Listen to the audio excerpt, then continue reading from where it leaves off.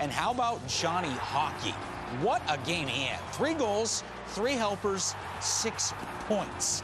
And this was a guy who was struggling, wasn't he? He needed low a on confidence. Like yeah, not guess. feeling it. Well, then his head fighting not, a little his bit. Head's not fitting in the door today because the confidence, the swagger, you call it whatever you want, it's back. Look at that, Now, throwing up the gang sign. Let, let's got to hold six pucks. Let's just Go talk ahead, about this photo for a second. Now, Womp do you womp. think that when he got his first point, they grabbed that puck and saved it in case he happened to get a second, third, fourth, fifth, sixth?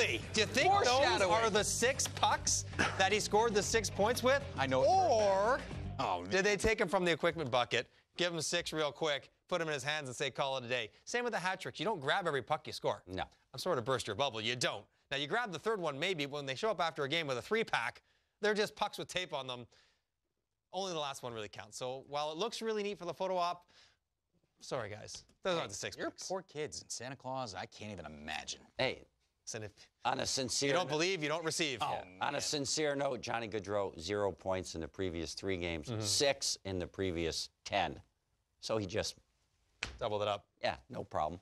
That's And, and can do. Lindholm and Monahan as well got that first line back together, and they had a monstrous night, which they need. I mean, that line drives it along with Matthew Tkachuk and Backlund. If that line goes, their offense looks offense looks really good. If it doesn't, um, they, they struggle. So having them break out of their couple three week slump that they've been in in a big way really bodes well for Calgary down the stretch because you really want home ice in the Pacific.